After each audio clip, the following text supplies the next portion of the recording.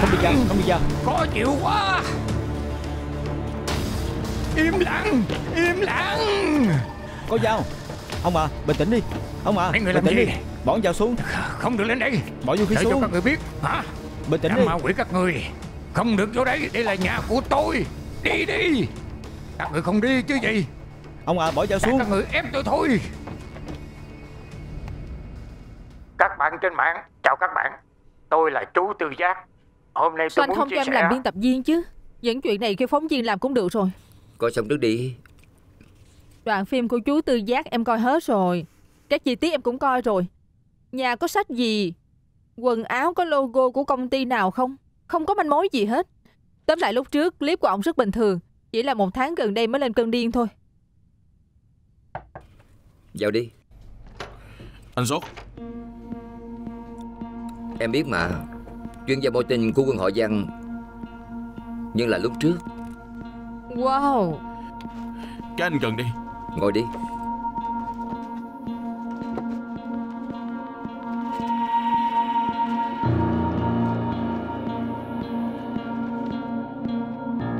Ca sĩ thập ưu nhiếp xa xa Con của chú Tư Giác sao? Đúng ra thành tích tốt Vô khoa luật một năm sau. Nói nghe hay một chút thì là theo đuổi ước mơ. Bỏ học giữa chừng chạy đi làm ca sĩ Nhưng thật ra thì là chú Tư Giác làm mất khẩu súng. Sợ cảnh sát ép ổng nghỉ hưu sớm. Nhiếp xa xa đành phải tự mình bươn chải kiếm tiền nóng nuôi gia đình. Sau đó nào là cái gì? Tiệc đại gia tin tức tiểu tam. Con mắt thấy mà. Ừm, Cuối cùng tôi cũng hiểu tại sao mẹ lại kéo cậu từ tập sang khay về.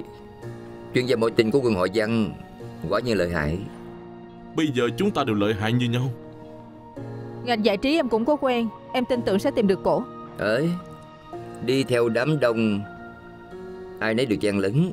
Chỉ là đi vào đường cùng. Thôi thì đứng qua một bên, Biến tin tức giải trí quá, Cho khán giả nghỉ ngơi. Chắc chắn được quan nghênh. Hỏi thật chứ, Có bao giờ khán giả thích coi tin tức nghiêm túc chứ? Ngồi ghế biên tập viên Không phải thắng chắc, Nếu em làm trực tiếp đủ chấn động, Sẵn sàng thắng ngược cổ.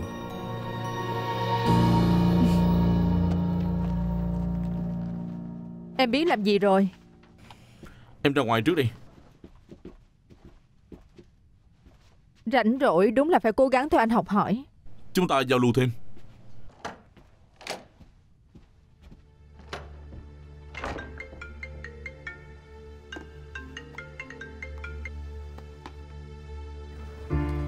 Trai cò đánh nhau, ngư ông đắc lợi. Cho nên đã dạy tôi Ba biên tập viên đấu nhau Tất cả đều thể hiện tài năng. Chiêu lạ này được nha Chắc chắn bùng nổ. Đại bản doanh có hiểu gì trấn giữ? Cô có hồ sơ liên quan bệnh tâm thần ở lại đây. Khai thi thì làm lá cải Dân mạng thích thú nhất.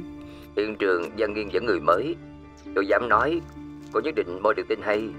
Vụ trực tiếp này Ê, anh Niêu làm sao thua được? Tôi đã nói rồi Tôi không có chọn lầm người. Thực tế anh là nhân tài của cấp quản lý Qua màn hình mọi người cũng nhìn thấy Chính là tình hình trực tiếp ở thôn Mỹ Thiện, Trà Quả Lĩnh. Ông làm vậy bản thân sẽ bị thương đó bỏ dao xuống đi. Không được ngưng máy.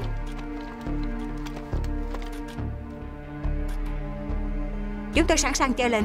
PM ở hiện trường có tín hiệu Quay được tin chấn động. Tôi sắp nổ tung rồi. À mệt quá đi. Phóng lớn lên Mệt quá đi. Cái gì vậy? Hình như là súng.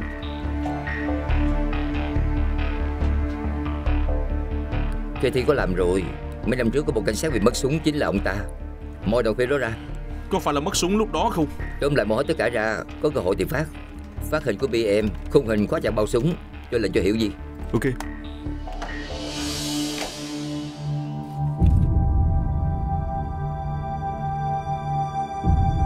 Tôi về quỹ phép.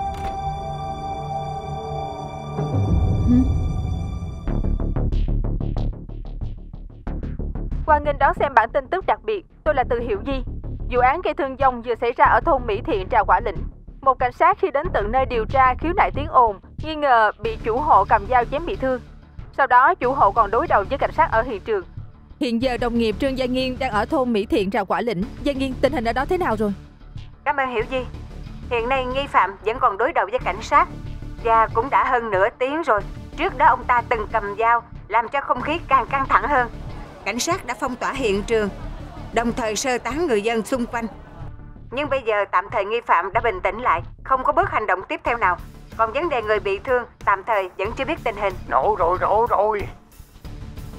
Xuống dưới đi. Các người tới đây làm gì Bình tĩnh đi, bình tĩnh đi. Tôi hả? Ông vào nhà xuống đi đi. dạ. Ông bạn ơi Sắp tận thế rồi. Toàn bộ loại người đều chết hết. Ông bạn bình tĩnh đi Đủ rồi. Hình như thắt lưng của nghi phạm còn khẩu súng.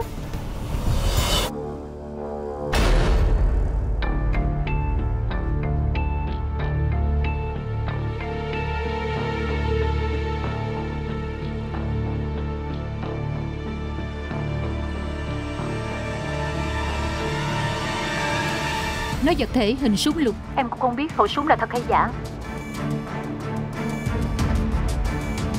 Trước khi nói có phải nên kiểm tra lại không Anh tung tin ra như vậy tức là lừa hiểu gì Tìm Đấy là mọi người cũng phải nổ, có giới hạn Những có đại khác tôi không cần biết Tóm Để lại đại ở các cơ SNK hội, nêu nói gì cũng vô ích thôi. có quỹ tín. Ông là cảnh sát bị bắn súng. chưa nổ súng Đủ làm khán giả cảm thấy ông ta có súng. Nói Vật súng. thể hình súng lục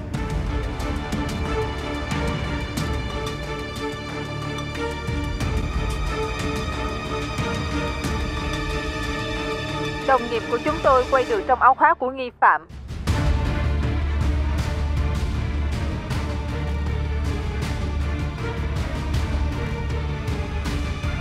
Có thứ giống như súng lục.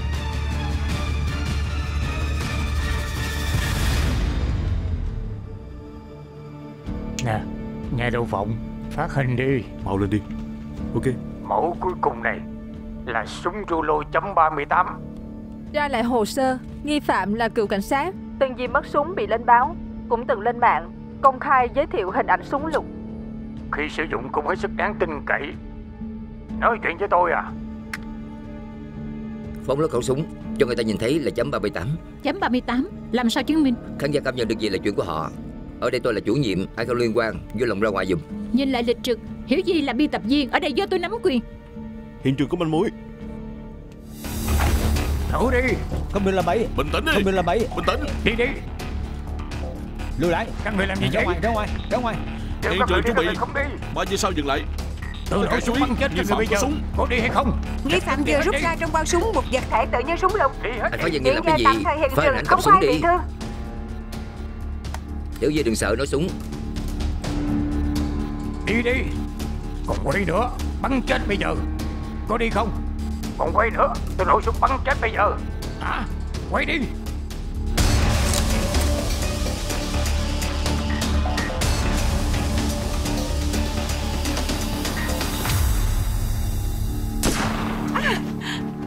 Nghi phạm vừa mới nổ súng.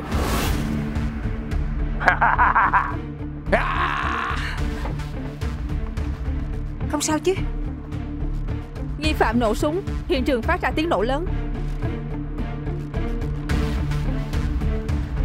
Nè, hiện trường không thấy ai bị thương. Tiếng súng lúc nãy không giống như súng thật, giống súng hơi đồ chơi hơn. Anh kiểm tra kỹ mới nói nha.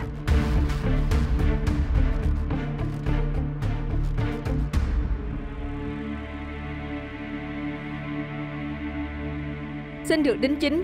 Tin tức hiện trường nói cái nghi phạm sử dụng là súng hơi. Hiện trường không có người bị thương.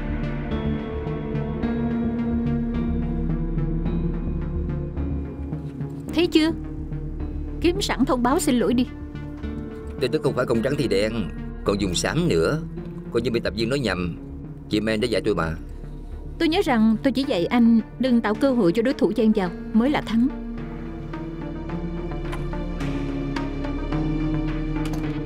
Hiểu gì đừng sợ Không có gì đâu.